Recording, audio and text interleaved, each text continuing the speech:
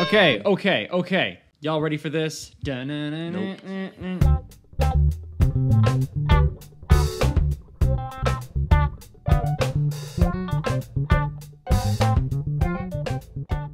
Hi, my name is Ryan. I'm editor in chief of the Amped blog. I'm here with Kyle and Jay. And today we are going to be talking about the differences between uh, digital formats and vinyl. Kyle recently wrote an article on the Amped blog about vinyl myths, some things that sort of like misconceptions about the format, and that paired with like the Pono video where we talk a little bit about vinyl and digital. It really sparked people's interest, and we wanted to talk more about it and clarify some things and help you understand a little more about the differences. So.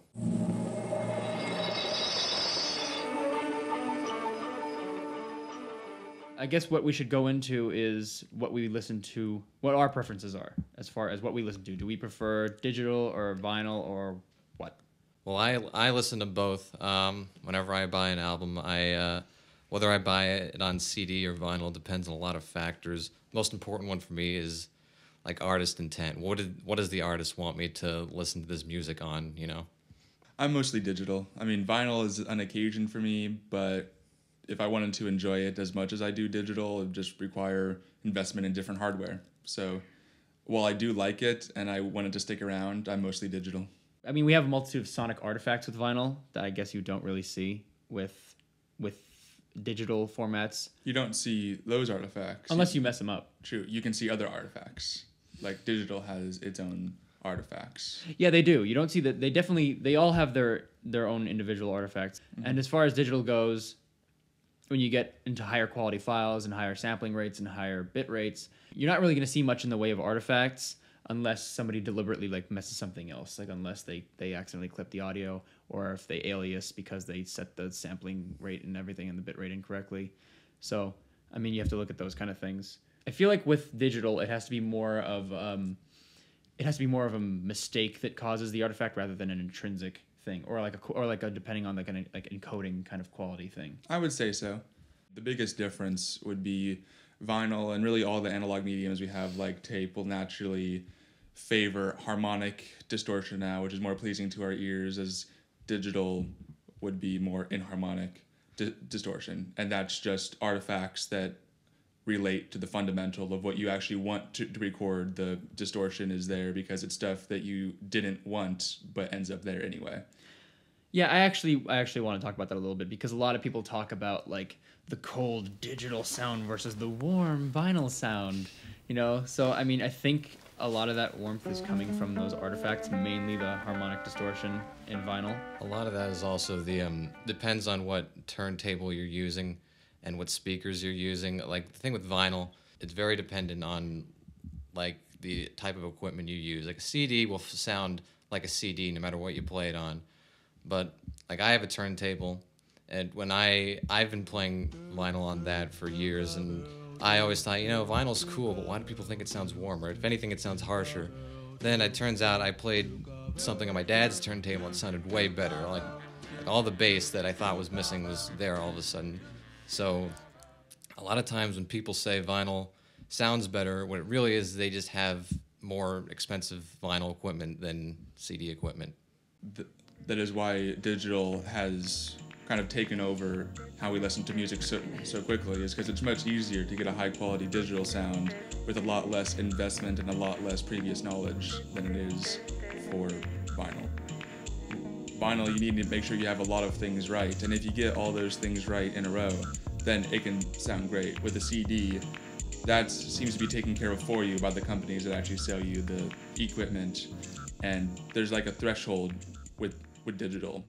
All of them affect the sound differently, but you don't need to know about your turntable or your cables or your cartridge head or how your speakers are, are set up or the EQ as much. It's more just put in other companies have taken care of that for you and then you just get music out of any speaker it's like digital is almost more robust for people that don't have the proper knowledge of how to make it sound good like when you put it on like a, an old record like it'll sound all like scratchy and stuff but you know for some people that's like oh it brings back all those memories of all those times i used to listen to this album in my basement with my friends you know that's fine widens the grooves yeah It's almost a reason that I don't listen to as much vinyl as I do because the vinyl that I have, I don't want to wear out. Mm. It's like it's never something I would just put on in the background. I always need to make sure that I'm gonna have a really active listening experience with it because I want to savor the vinyl when it's new, at least new to me. And the other thing about vinyl is that Kyle mentioned that they have to cut everything above 15k in vinyl. Yeah. Like basically 15 kilohertz uh, and an equalizer. there's a lot of websites that'll show you like this like frequency response chart of like the vinyl and it shows like all this information above 20k that it's debatable whether or not you'd hear that anyway but the fact of the matter is a lot of that information that like the computer picks up is actually just high frequency distortion when when they master vinyl they have to cut everything above 15 kilohertz because anything above 15 15 kilohertz could potentially damage the the equipment they use to cut the vinyl and like in some cases it can smoke or set the cutting lathe on fire so This fucking metal. Yeah. a lot of people will say it's like, oh, like the only way to listen to like digital music and have it be as good as vinyl is to listen to like 96 kilohertz FLAC files or 192. Fact of the matter is, like vinyl doesn't have that much information above 15k, and you know most people don't notice it because there isn't that much music going on up there anyway. So there actually are, I think, some like I believe there's like that hidden groove in uh, Sergeant Pepper's at the end where it has like the high frequency noise that only dogs can hear.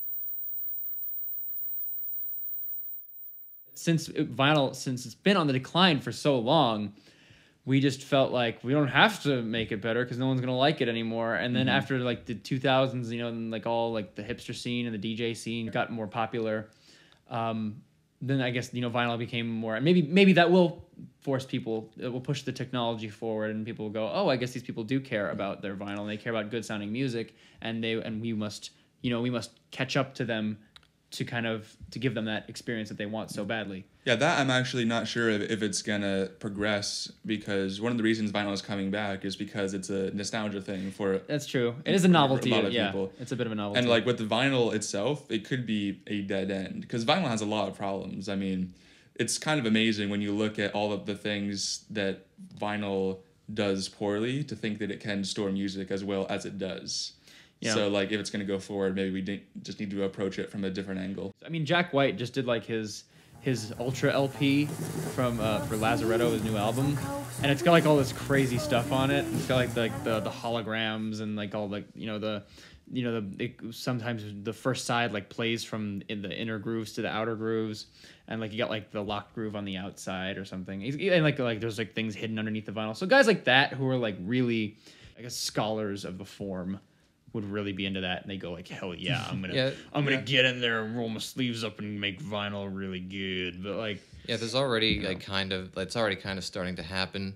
I forget the name of the uh, mastering engineer he was talking to, but he uh, was a mastering engineer who specialized in vinyl, and he was saying that to get the best results when cutting vinyl, they uh, they typically cut at 45 uh, RPM as opposed to the typical 33 and a third for a 12 inch LP, and they try to keep the size really short. And you you notice like with new vinyl releases, like records that would have been pressed to like a single disc 33 RPM uh, vinyl. Nowadays, you see a lot more like like two disc vinyl albums coming out with really short sides, and in some cases, uh, it's 45 RPM, uh, which is a better practice. I guess what Kyle just said brings us to the process of recording these things and how important that is to the form, and how there's a difference between recording or mastering for vinyl as opposed to recording or mastering for digital formats, and how some people are coping with doing both since you know the big resurgence in vinyl sales.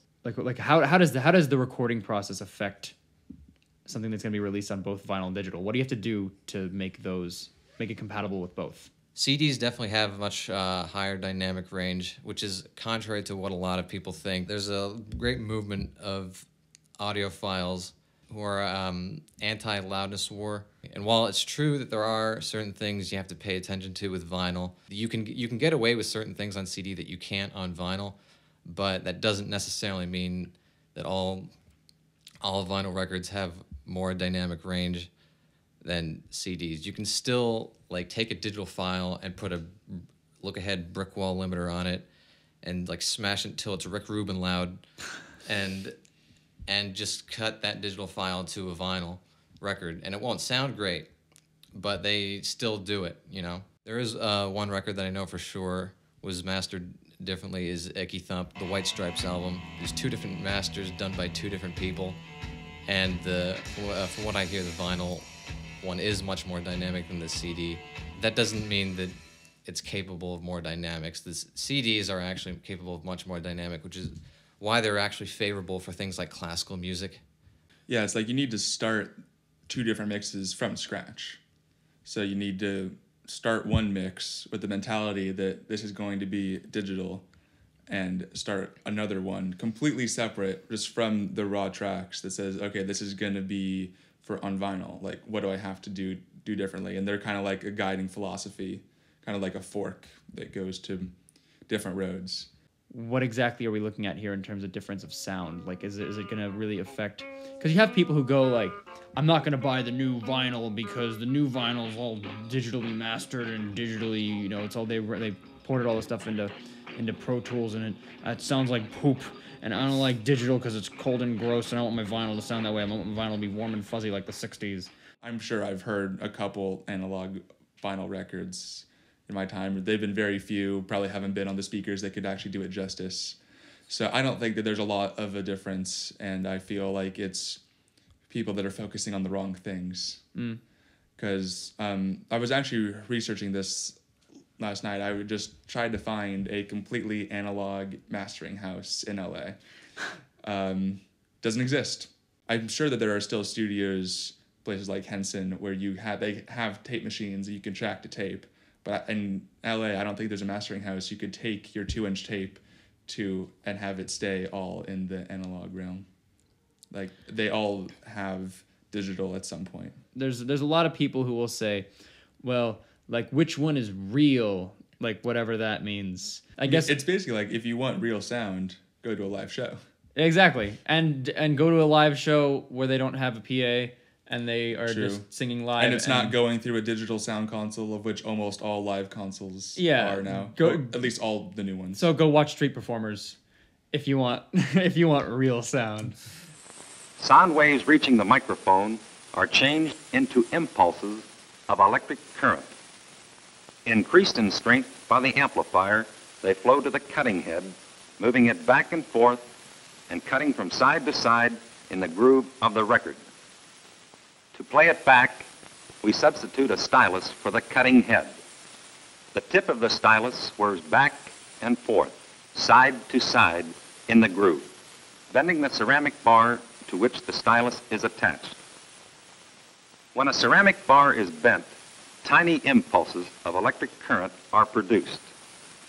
These impulses of current, again strengthened by an amplifier, are carried to the speaker where they are converted back into sound, the same sound we had at first. Their defining char- characteristics are no matter how small your time scale with analog, you can find a different voltage at a different time scale. Digital has specific voltages at specific time intervals. When you get b- below that, the voltage doesn't really change. In analog, it would change a little bit. The reason all those sound engineers, mixers, masters have jobs is because you can't just put a microphone in front of something, put it onto a storage medium, play it back, and expect it to sound good. There needs to be a lot of massaging and there needs to be a lot of catering to the medium to actually get something at the other end that you would want to listen to. By mixing and doing all the stuff we do, you're trying to get the sound back to its more original state in the first place. Yeah, that's what all those knobs are in the pictures of studio that you see. all the knobs and faders and buttons. At the end of the day, it's it it's the like people on the other end of the medium yeah. who like put music into the medium for it to come back out at you. Yeah. And then to I think tools like instruments and outboard gear and, and all that stuff comes comes after that and then everything yeah. and, and microphones. Yeah. Oh, back when we were talking about the the whole idea of maybe vinyl technology will be pushed forward uh, and the way digital has, we know I mean we know that digital technology has really been pushed forward in this sort of feedback loop because people want higher and higher resolution files, as we can see with all these new high res players coming out.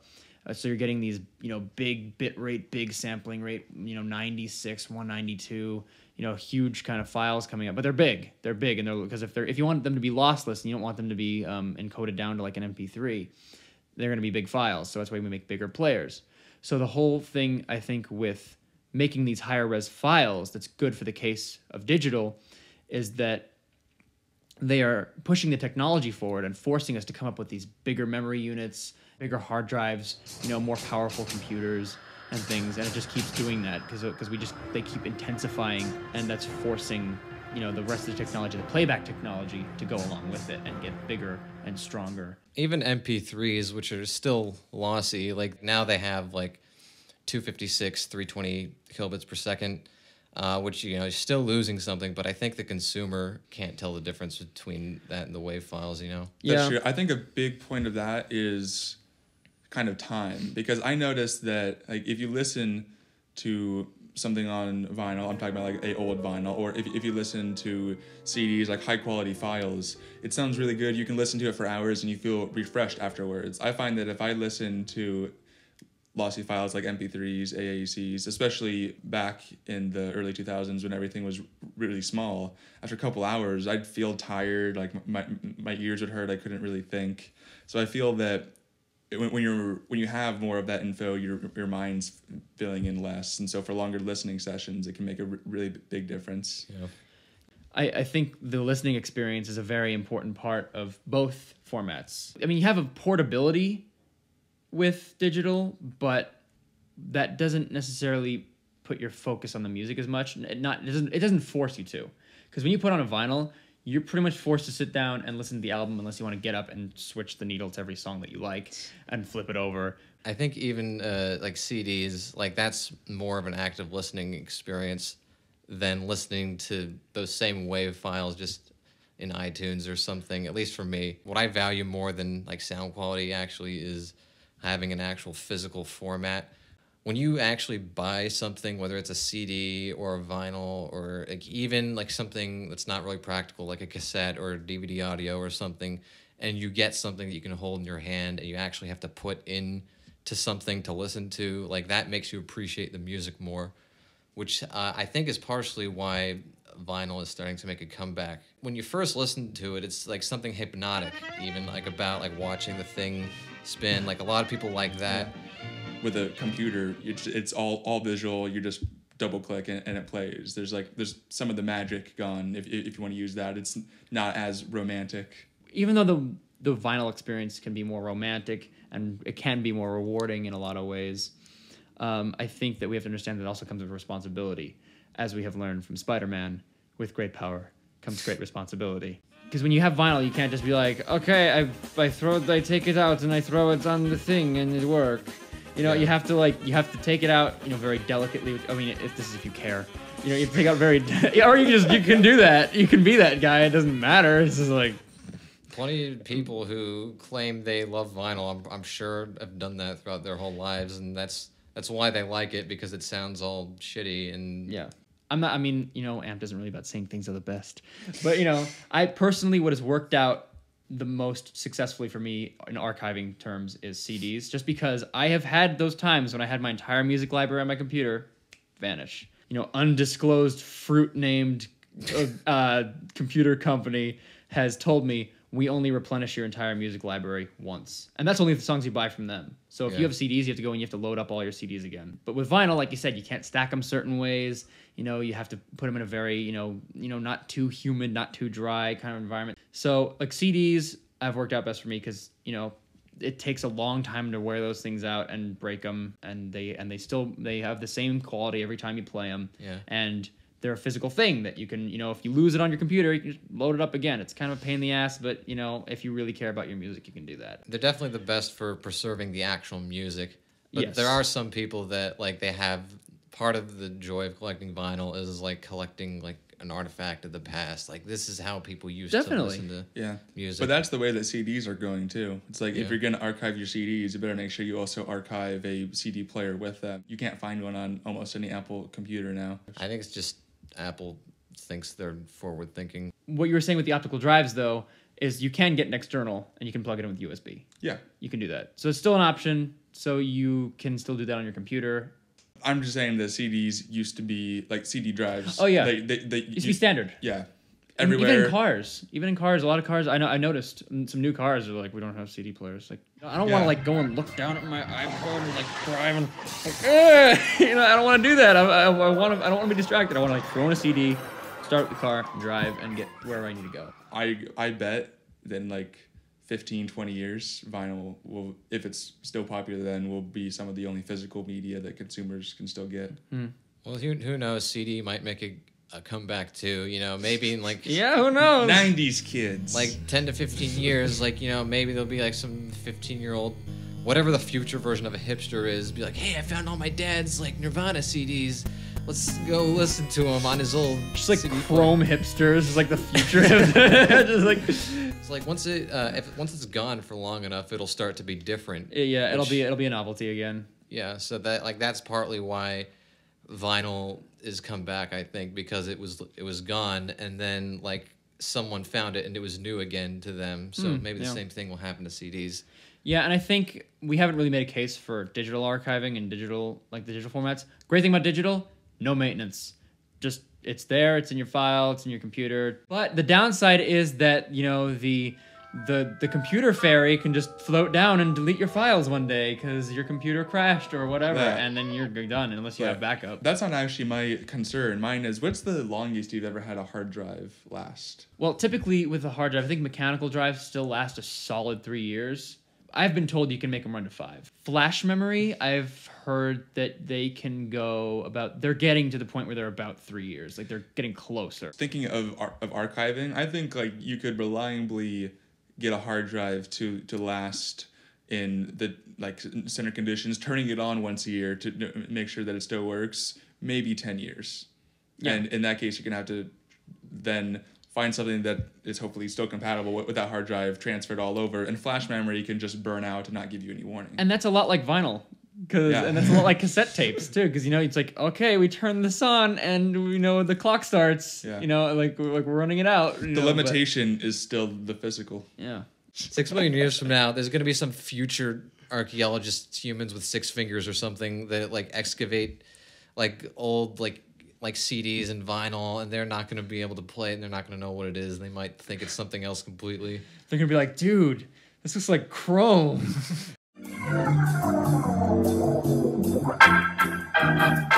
I think you should trust your ears first. Don't base your entire opinion off some article or people talking on an internet video.